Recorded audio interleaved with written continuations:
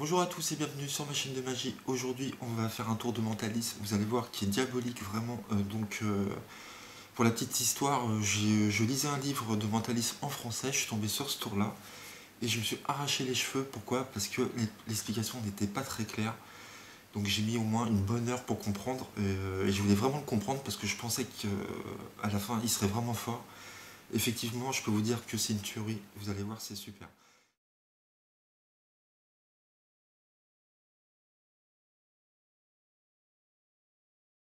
Donc nous avons euh, trois billets de banque, trois enveloppes vides, numérotées 1, 2, 3. Donc il y a deux billets de 1 dollar et un billet de 10 dollars. Et donc voilà comment je le fais. Je propose au spectateur de mettre n'importe quel billet dans n'importe quelle enveloppe, mais surtout euh, de se rappeler dans quelle enveloppe il va mettre le 10. Pourquoi? Parce qu'il peut gagner à la fin le billet. Si je retrouve à la fin dans quelle enveloppe est le billet de 10, je garderai le billet de 10 et la personne euh, aura perdu. D'accord? Donc je vais me retourner et tu vas euh, mettre les billets dans n'importe quelle enveloppe et tu vas bien mémoriser dans quelle enveloppe tu mets le billet de 10, d'accord?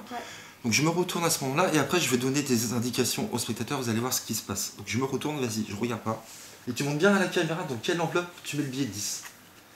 Et si jamais j'arrive pas à le retrouver, je perds, et ben tu, je t'offre le billet de 10 dollars. Ok?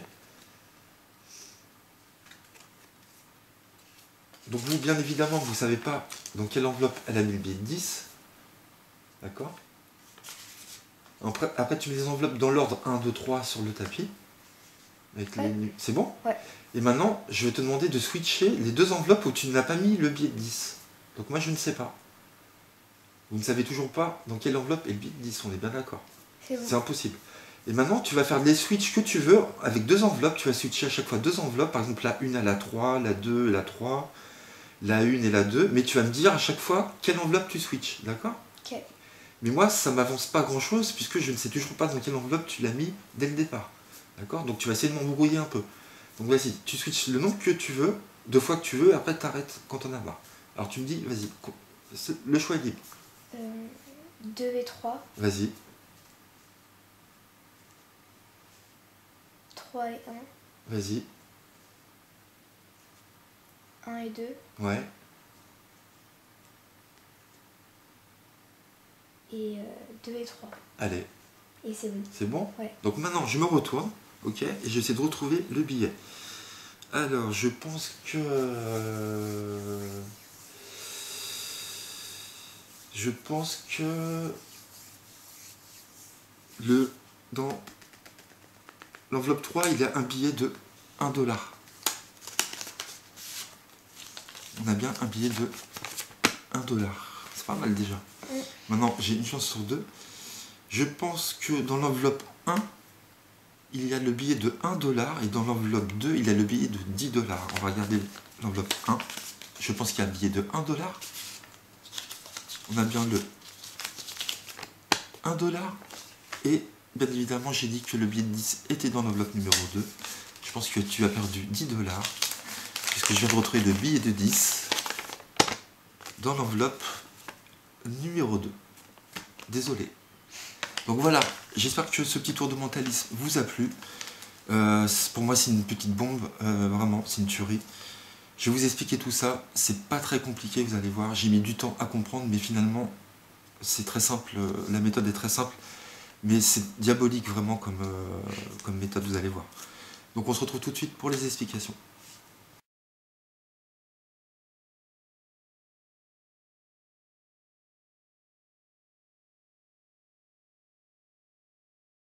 Donc on se retrouve pour l'explication de ce tour. Euh, j'espère que vous avez aimé, franchement pour moi c'est une tuerie. Alors je ne sais pas si c'est pareil que Inversion pour ceux qui connaissent ou The Good Next System parce que je ne me rappelle plus du tout de la méthode.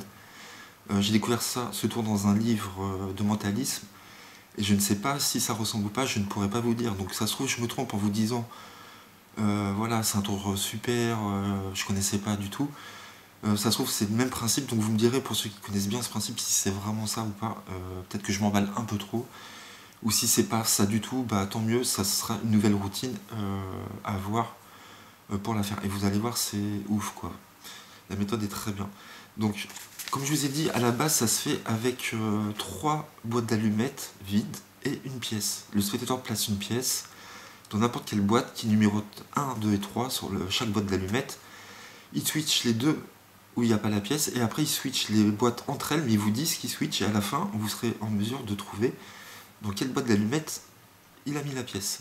Donc là comme j'ai pas de boîte d'allumettes j'ai pensé à prendre des enveloppes à la place, c'est exactement pareil. Et j'ai changé un peu la routine, j'ai euh, intégré des billets de banque. C'est toujours bien de jouer de l'argent, les gens aiment bien. Donc j'ai pris deux billets de 1 dollar, un billet de 10. Et donc le billet de 10, j'ai dit aux spectateurs, vous allez le mettre n'importe où, n'importe quelle enveloppe, les, billets de 1 pareil.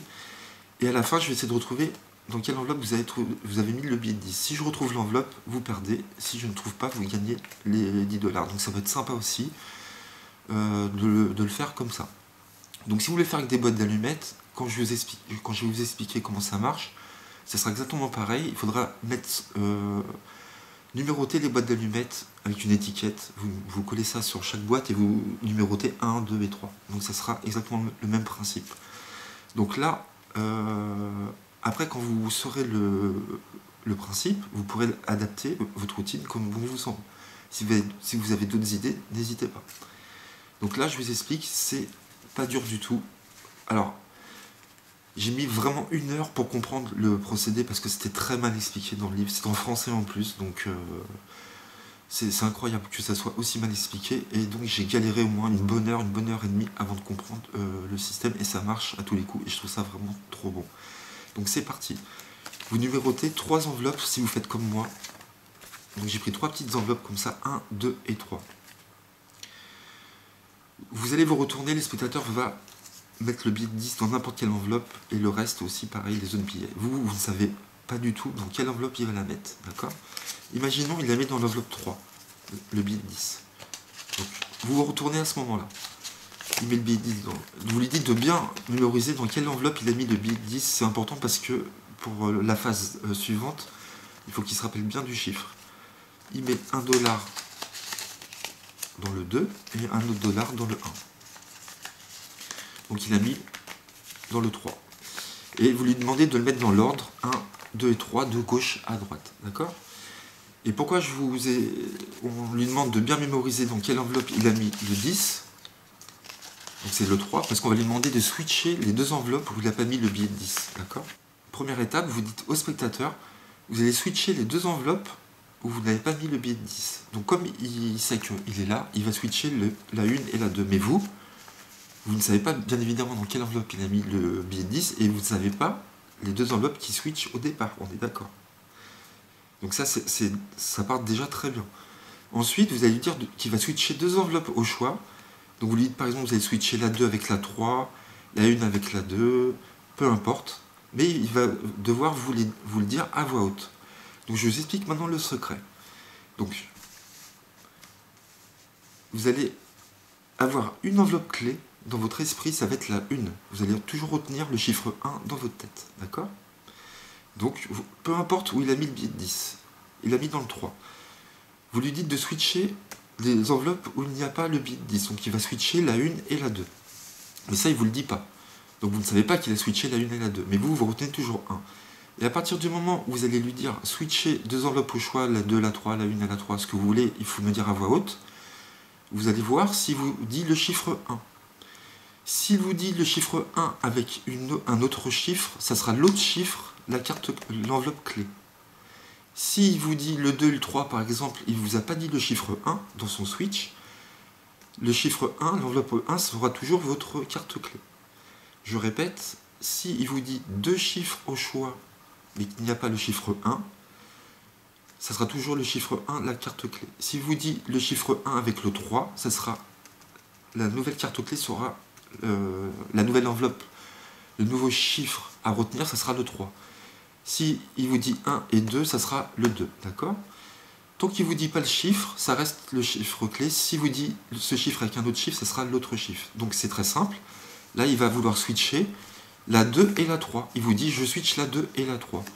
Là, vous n'avez pas entendu votre chiffre 1 qui est votre, carte, votre nombre clé, votre chiffre clé pardon, depuis le début. Donc vous retenez toujours 1. Ensuite, il, dit, je vais switcher la 1 et la 3.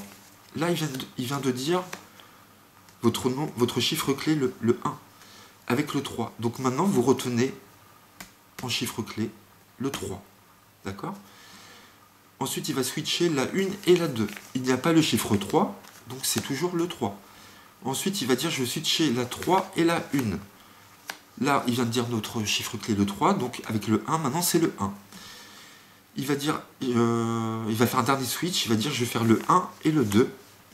Donc il vient de, dire notre chiffre clé, le 1 avec le 2, donc maintenant notre chiffre clé c'est le 2, vous retenez bien 2. Et là il décide d'arrêter. Vous pouvez faire face à lui, et là qu'est-ce que vous faites? Vous regardez, vous avez 2 en tête.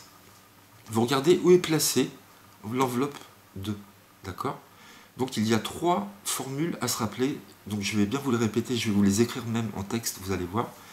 Vous regardez où est placée votre carte clé, la 2. Elle est au milieu, en position 2. Vous saurez que le billet est dans l'enveloppe numéro 3. D'accord? Ici. Je sais que le 10 est là.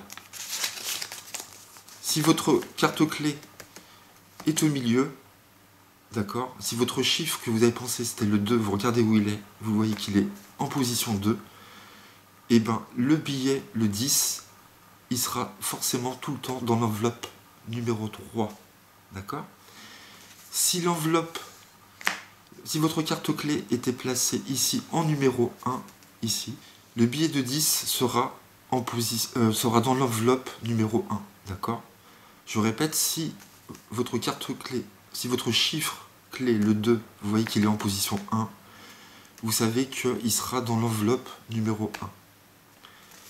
Ça, c'était le deuxième cas. Et le troisième cas, si jamais votre, si votre chiffre clé est en troisième position, le 2, vous saurez que le billet est dans l'enveloppe numéro 2. D'accord? Donc là, euh, si j'avais mis le billet de 10 ici, il aurait été ici. Donc je répète, si vous voyez que votre enveloppe, le chiffre clé 2, est en troisième position, le billet sera dans l'enveloppe numéro 2.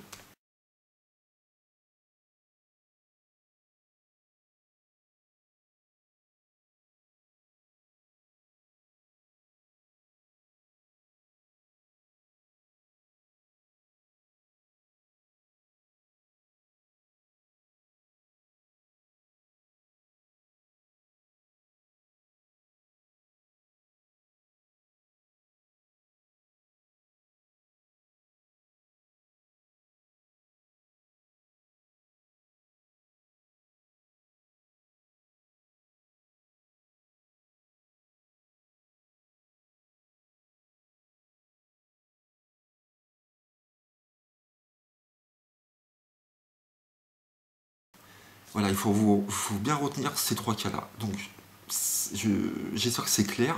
C'est pas évident à comprendre au début, mais vous allez voir, à force de le faire, vous allez vite comprendre.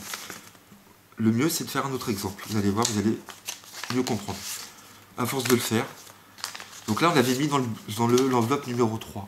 D'accord? On va le mettre dans l'enveloppe. On va mettre le bit 10 dans l'enveloppe numéro 2. Ok, bit 10 numéro 2.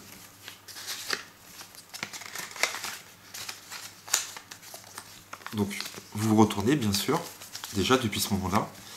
Vous demandez qu'il les mette bien de gauche à droite. Donc, le billet 10 est, ici, d'accord? Moi, je ne sais pas.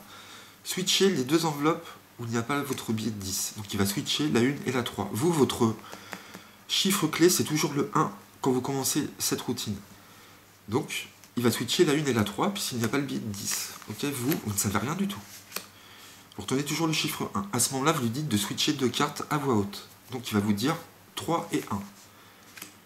Il vient de vous dire votre chiffre clé avec le 3. Donc là, vous changez. Maintenant, ça sera le 3.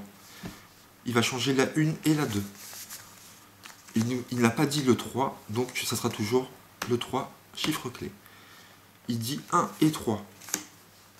Là, il vient de dire votre chiffre clé avec le 1, ça sera le 1 que vous devrez euh, mémoriser. Il va dire 1 et 2 il a dit le chiffre clé 1 avec le 2, c'est le 2 que vous mémorisez. Il dit 1 et 3, et vous vous arrêtez ici. Il s'arrête ici, par exemple. D'accord? Le chiffre mémorisé à la fin, c'était quoi? Le 2. Donc, dans ma tête, je me retourne, je regarde où est le 2, je vois qu'il est en troisième position. D'accord? Et quand mon enveloppe est en troisième position, je sais que l'objet choisi, le billet de 10, sera dans l'enveloppe numéro 2. Donc je sais que le billet de 10 est forcément ici. Donc je dis, je pense qu'il y a un billet de 1 dollar ici, dans le 1, et dans l'enveloppe numéro 3, 1 dollar.